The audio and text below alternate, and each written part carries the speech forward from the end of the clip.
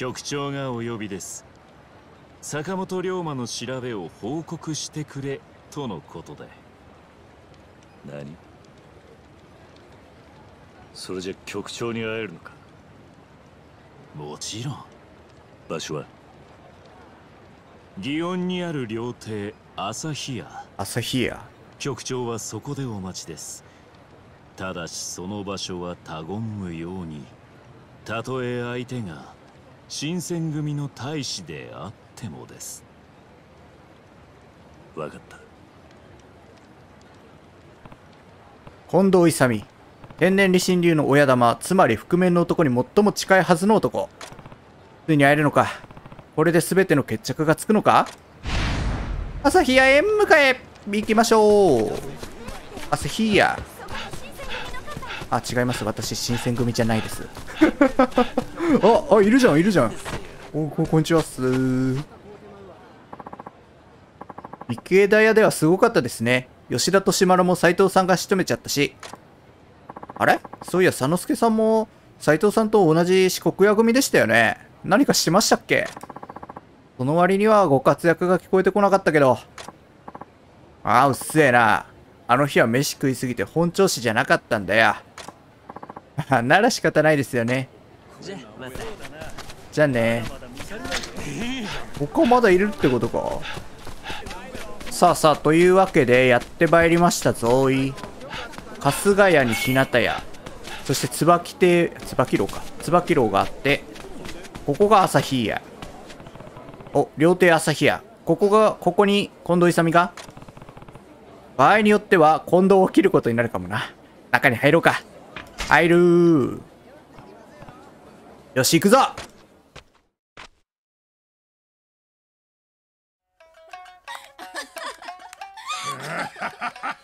おいどこだ？あんまり逃げんなよ。足立さん。近藤先生こっちこっち先生こっちどす。遊んでんじゃねえよ。おそこか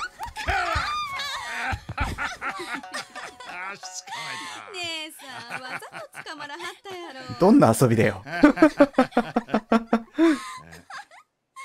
うんなんだこりゃ。血の匂いか。血の匂い？血の匂い？え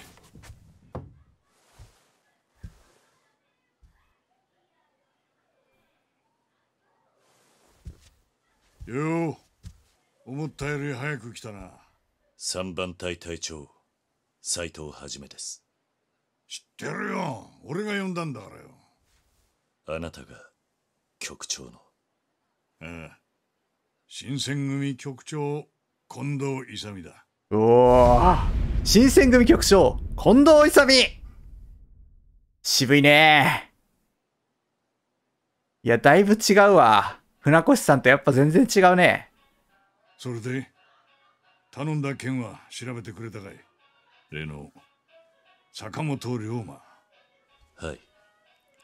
坂本が現れたという薩摩藩邸に行ってきましたがあいにく西郷にはとぼけられました。まあそんなとこだろうな。もともと西郷には期待しちゃいなかったんだ。それはどういう意味で？坂本龍馬は今長崎に向かってるらしくてな本人が今日にいねえんだから薩摩もいくらだって白切れる。今西郷に聞いたところでろくな返事はねえだろうよ。じゃあなぜ行かせた？だからまあ何も情報をつかめなかったのはあんたのせいじゃない。ただでさえ本音を見せねえ西郷の口割らせるのは簡単なことじゃねえからな。けど大収穫だ。お？西郷と会ってたことは知ってたってことか。ああんたいい仕事したぜ斎藤さんよ。俺がですか？うんだってよ。坂本龍馬について一つだけ確実なことが分かったんだからな。お薩摩の西郷にあったその坂本龍馬ってのは真っ赤な偽物だやべえ本物の龍馬さんなんで知ってんだよ。まあ、バレるだろうけど。寺田屋にあんな中岡くんがいたらね。一年前に吉田東洋暗殺の濡れ衣を着せられて脱藩その後天然理心流の使い手を追って京に潜伏その坂本龍馬って男が今のあんただだとすりゃ長崎で英国の武器商人と取引している坂本龍馬は偽物ってことになる。だよな。お話の意味が分かりかねます。そうかい、まあ、こっちから先に腹割ってやらねえとあんたも話しづれえやな。まずは安心してくれていい。あんたの正体は俺の胸にしまっておく。新選組としてあんたを粛清しようって話じゃねえ。それだけは分かってくれ。なんで知ったんだ？誰が教えてくれた？担当直入に言やよ。俺はあんたの腕を高く買っててね。別にあんたが坂本龍馬でも斎藤はじめでも構わねえんだ。ただ俺のある計画に乗ってもらいてえとは思ってるある計画日本の都を今日から江戸へ移す江戸遷都計画だ江戸千とくん計画。江戸遷都計画だと江戸が千とくんに。夢みてえな話だろ本当に夢みたいな話だ。だがこれは至って真面目な計画だ最終的にこの日本を救う唯一の道だと唯一そこまで行くこの国を救うために肝心なのはな勤王志士が目指す大規模な倒幕戦争を起こさせねえことだ。このまま放っておきゃいずれ日本中を巻き込んだ倒幕戦争が起きる。まあ内乱してる場合じゃないもんな。だが連中が幕府を倒せたとしてその時内戦で疲弊しきった日本人にアメリカやイギリスと戦う力はもう残らねえ。するとどうなる？異国の白人連中は一発の銃も撃たずに日本を手に入れられるかもな。江戸に遷都すればそうはならぬのか。ええ。ただしその前に今日を焼き御所に資格を放って朝廷を滅ぼす。えっと、やべえやん、やべえやん。普通にやべえやん。じゃああんたは池田屋事件の時の連中と同じことをしようとしているのか？あれと一緒にされたら困るね。俺は帝をさらうような真似はしねえ。要は帝が朝廷にも幕府にも属さない政治とは別の存在にならなきゃならねえってことだ。別の存在？帝と朝廷って違うのそもそもかこの国が勤王と幕府でぶつかってんのも全てはどっちが偉いのか分かりにくいって話だ。だから俺はその概念ごとぶっ潰してやろうと思ってんだ。それが今日の町を焼き払うことなの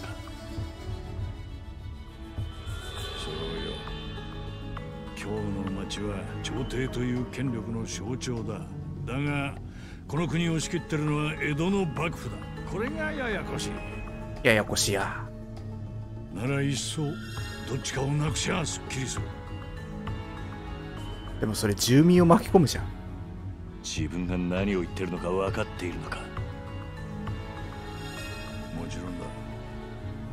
だが朝廷がなくなり今日が焼ければ帝も致し方なく江戸へ移られる。その時帝が住む江戸それを仕切る幕府に勤王志士どもが入り込む余地はねどうなる？えええ話。日本って国の中枢を一ところに集めるんだよ。それが一番わかりやすい。あ、わかりやすいといえばわかりやすいけど。だが朝廷を滅ぼせそれこそ幕府は日本中の武士に報復される。だからそうならねえように誰が今日の町を焼き払ったのかわからねえようにする必要があるのさ。そしてそれができるのは選ばれし能力を持った男たちのみだ。それが新選組。それはまさか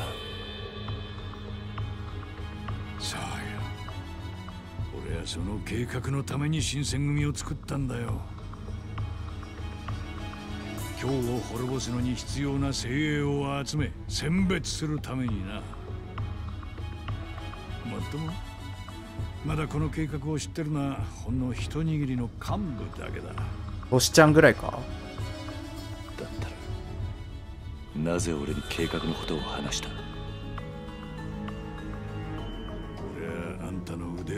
るって言ったろ。それにお前さんとならよ。取引できると思ってる。取引？俺との取引。何のことああ覆面の男の正体ね。吉田東洋を暗殺した覆面の男のことだ。俺はそいつをお前さんに渡してやれる。じゃあ正体は知っていると父さんを脱藩してまで追ってるんだろ悪い話じゃねえはずだ。あんたはやはりあの覆面の正体を知っているのか。そりゃまあな。これでも新選組の局長をやってるんだね。新選組のことで俺の知らねえことはね本当？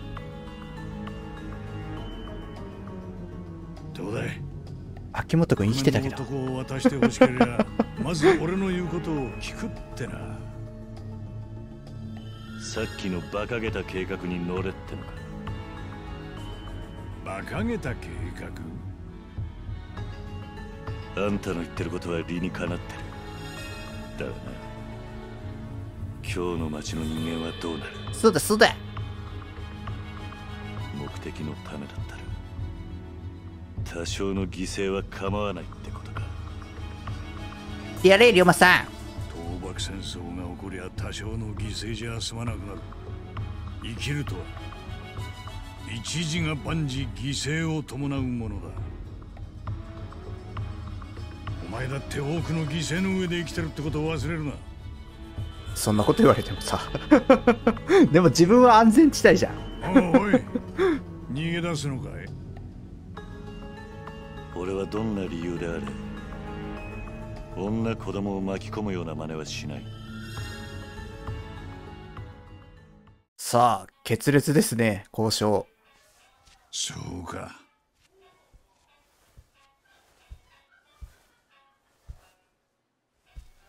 本当にそれしかないのか。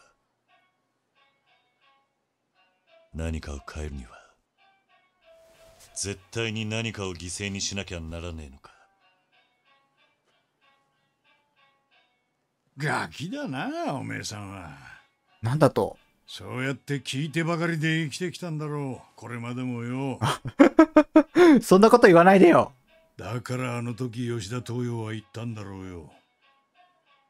お前が金王党の筆頭にふさわしい男じゃないと。なんでそれを知ってるんだよ。今なんて？なぜお前がおやっさんの話したことを知ってる？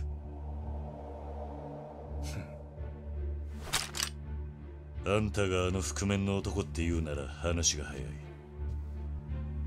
ここであんたを切れば新選組にいる理由もなくなるからな。なら切ってみりゃいい。まあ天然理心流四代目宗家の俺を切れればの話だがな。高木は関係ねえぞ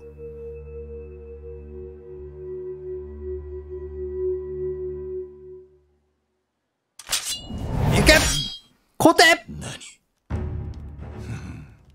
迷宮のクロスロード。覚えがあるのか。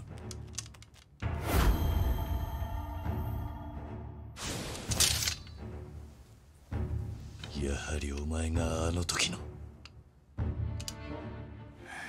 顔の輪郭はちげえんだけどな。それがわかるといいな。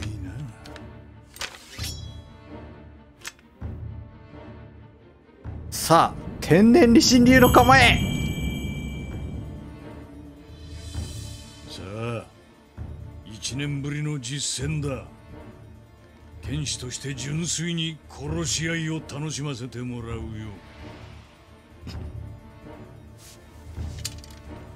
行くぞ。坂本龍馬！行くぜ！斎藤はじめじゃなかったね。よし、行くぜ !VS! 新選組局長、近藤勇。行けお、マジか。行くぜ、西谷。ほら。よいしょ。ほい。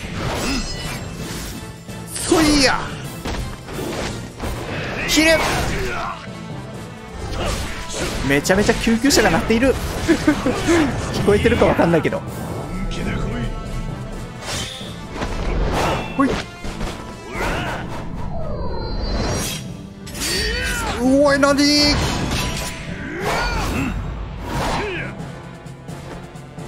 うお、ミリ単位の戦い。ほらほい。ほい。せいやうだ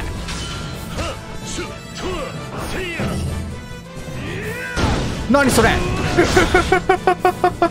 いや意味がわからん意味がわからんぞ。ちょなんか使えるもんねえかな。これでいってすべての攻撃弾きます。おらやった。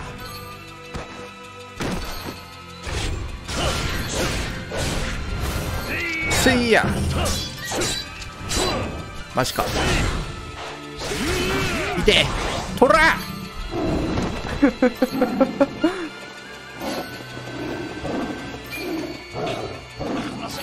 離さない。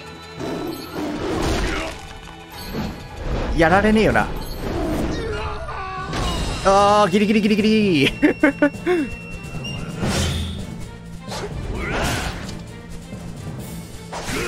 あれ？あーヒートアクションで決めたかったのに。まあ、いいか。コテツ。これあれだね。えっと、この近藤さんの刀？の名前？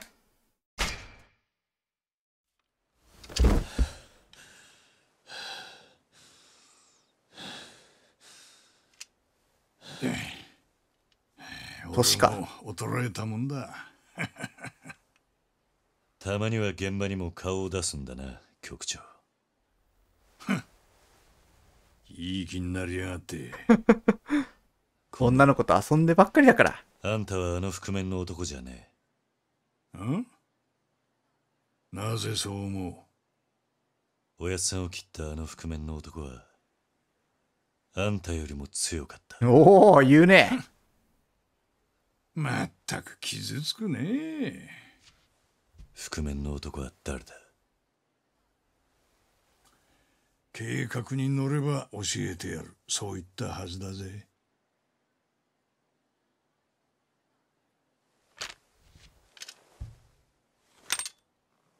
おやなんだ？やめるのかい？あんたの言った通りだ。俺はまだまだガキってことだ。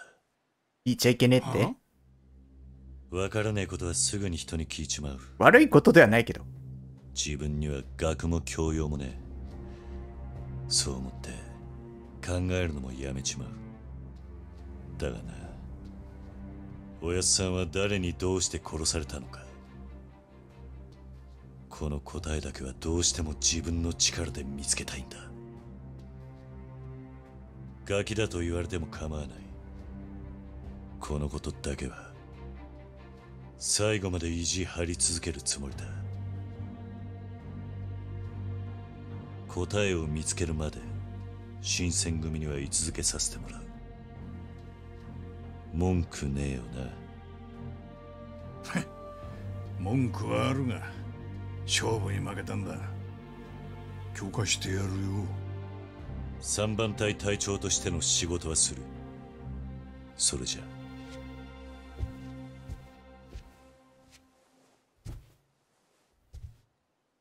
あんたと戦ってもう一つ分かったことがある。お？なんだ？天然理心流の使い手は一流の剣士ばかりだ。俺が戦うべき敵は覆面の男のさらに多くもっと深い闇に潜んでいるのかもしれないな。あ、覆面の男は依頼されてるわけだしな。普通に考えたらね。見てたかい？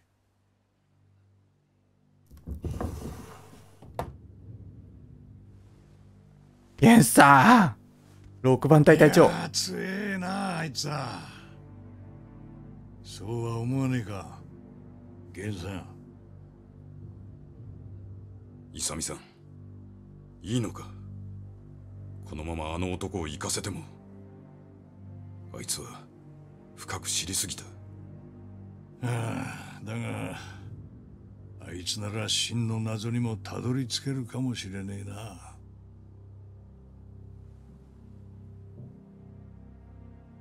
あれが坂本龍馬か。面白い男だろ？面白い女じゃなくて。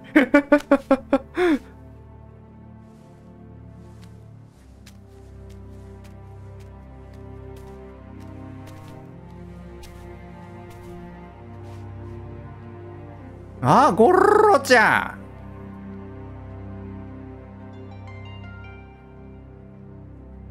んにやり。